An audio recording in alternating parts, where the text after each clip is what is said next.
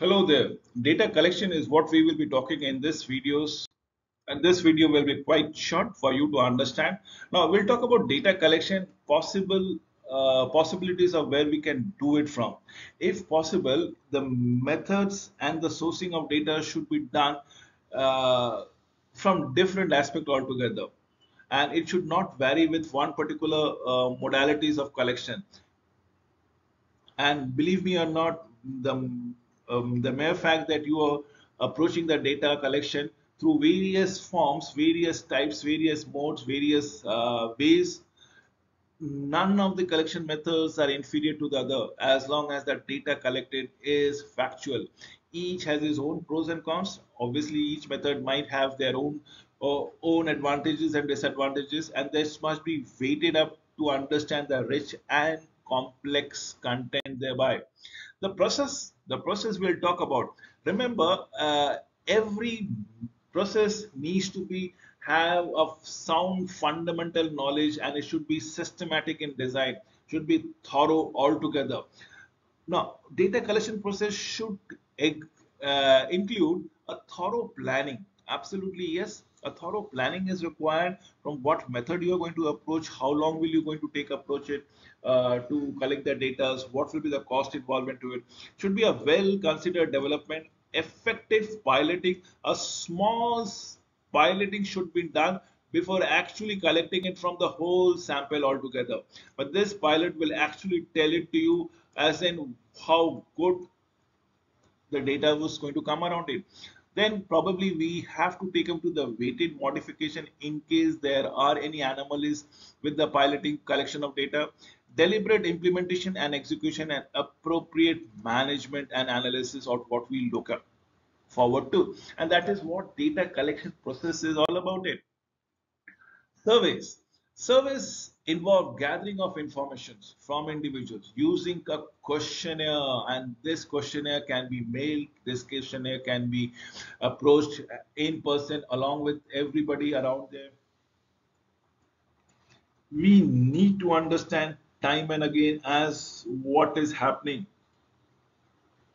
what can be done what should be done. Surveys can reach the advantage of surveys it can reach a large number of respondents. Uh, generate a standard that needs to be taken across time and again. Designing survey instruments capable of generating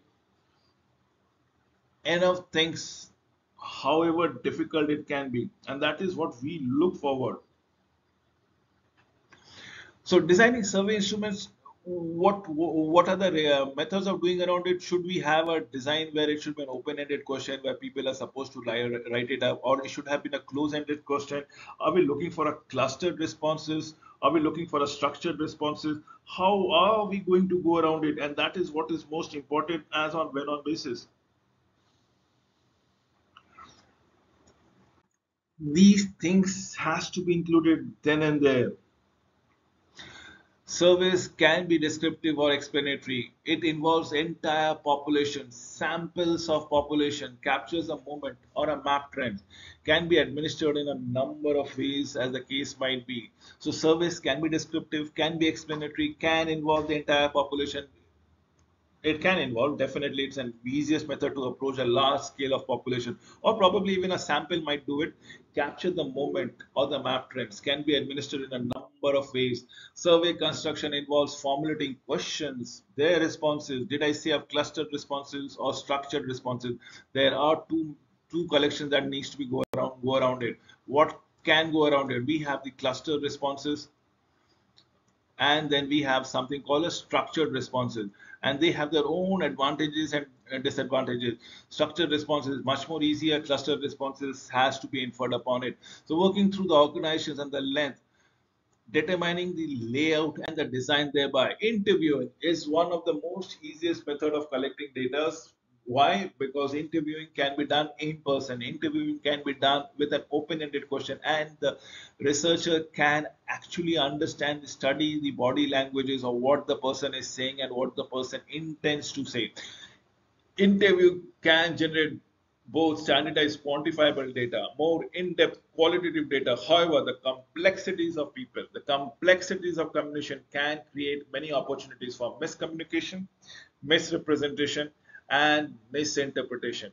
That is what have the anomalies of interviewing method is all about it. The types interview can be both two types formal informal structured unstructured can be involving one to one or one to the whole group so that these are the various types that goes around a formal interview where there is a pedagogy where somebody has been defined a role. In fact, everybody has been defined a role. So it's a completely formal, uh, let's say, uh, interview for a job. Informal is where you like to take a feedback altogether, and it can be not in an organization, it can be a social setting also about the workings of the provincial government, the local government, or any other feedback that you want to go around it. This these all the interviews can be structured with the rest of a question that follows in sequence or unstructured. As in based on the first question the responses whatever the responses have been uttered by the respondent or the interviewee you frame the next per, uh, following question. So that is unstructured. And remember interviews can be done in one person or in a group.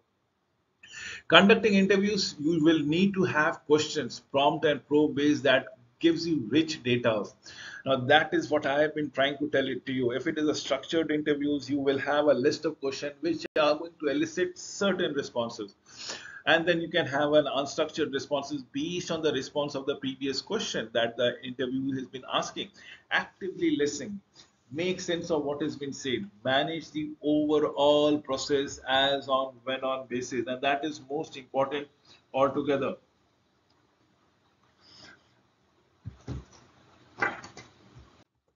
Observations relies to the researcher's ability to get, gather data through their senses, allow researchers to document actual behavior rather than the responses related to the behavior. And that is what observation is all about. It did i say during the interview process the uh, researchers can observe the body languages and what are they uh, implicating? However the observation can be differently when surveyed an observation can be tainted from the researcher's worldview. The researchers can be biased over a particular point of view, and he or she might put in that prism before analyzing the data that has been collected.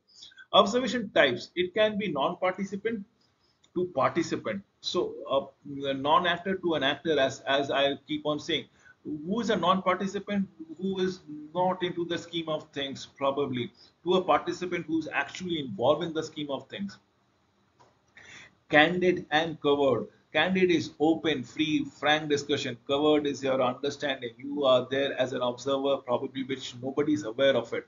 It's a covered operation from structured to unstructured, as the case might be of observation type. The observation process is sometimes treated casually, but is a method that should be rigorous as any other method. Why? Because everything needs to be pointed it out. The process should include planning, the process should include observing, the process should include recording. Did I use the word recording? Yes, the process should understand or reflect upon what has been recorded and authenticated time and again. Experimentation explore the causes and the effect to any event, any relationship by manipulating the independent variables in order to see if there are corresponding effect on the dependent variable then and there as on when on basis. Pure experimentation require both controlled environment and the use of randomly assigned control group. This can be difficult to achieve in a human-centered experiment conducted in a real-time basis on a real-world knowledge. So what is a real-world experiment? These are many experiments, plentiful experiments that can be carried out in a messy, uncontrolled environment of the real world, let's say in a college setting, let's say in a jail setting, let's say in a hospital setting, let's say in a luxurious uh, stay in a five-star hotel setting. So you have so many of uncontrolled environment that I have just stated out. And so to search for the causes and affected will require the trade-offs between the real world context and a controlled environment. That is what I have been setting. I have just giving you settings from different perspective and you can have a experiment, a social experiment done out there. You will see different outcomes based on the environment just about it. Just a question here. I believe this one of the easiest and the safest method uh, of the survey. There are advantages, disadvantages, also let's say the advantages are it's quick to administer. Definitely once you frame the question you just have to distribute it. Can get a large amount of responses. Yes in a very short amount of time. Allows employee part participation. They can do it at own luxury. Does not require trained interviews and relatively inexpensive.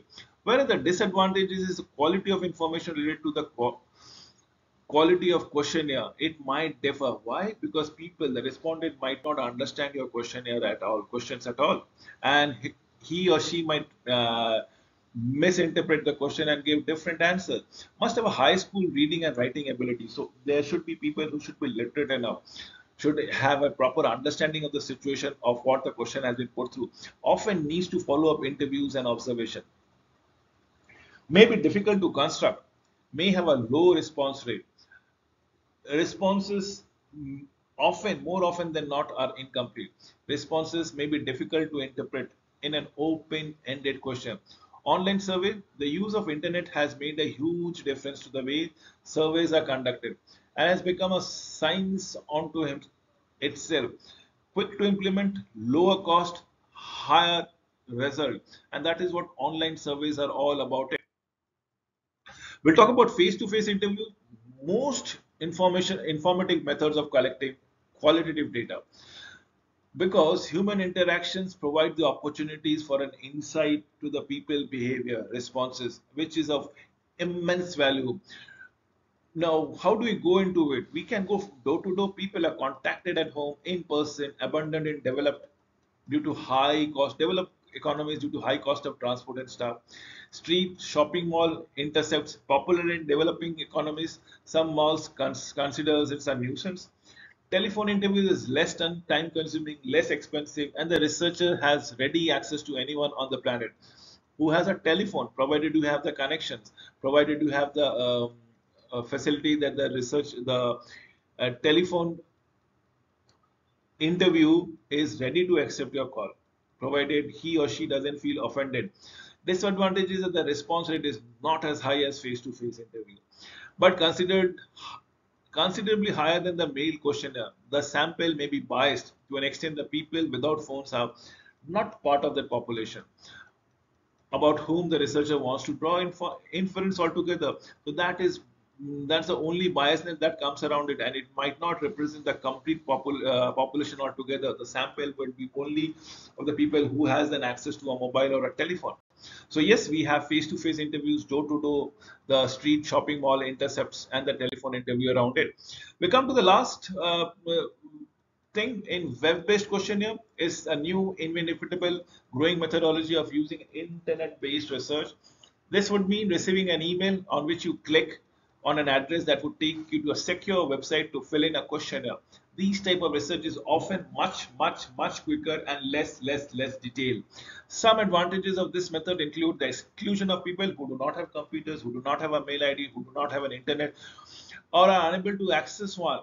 Also, the validity of questionnaires are as people might be in a hurry to complete it, so might not give exactly the accurate responses.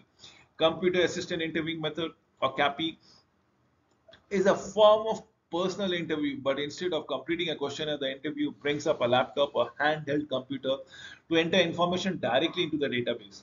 This method saves time involved in processing the data as well as saving the interview from carrying out hundreds of questionnaires. However, this data collection method can be very expensive to set up and requires that interview have to have a computer and a typing skill. So the disadvantages is again people without a computer and internet or the knowledge about it might be excluded from such research.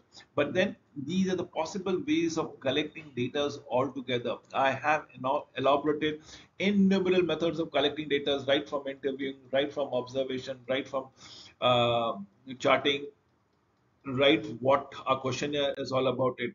Thank you for watching this video till the end. I hope the data collection method has become much more easier for you to understand and probably to implement.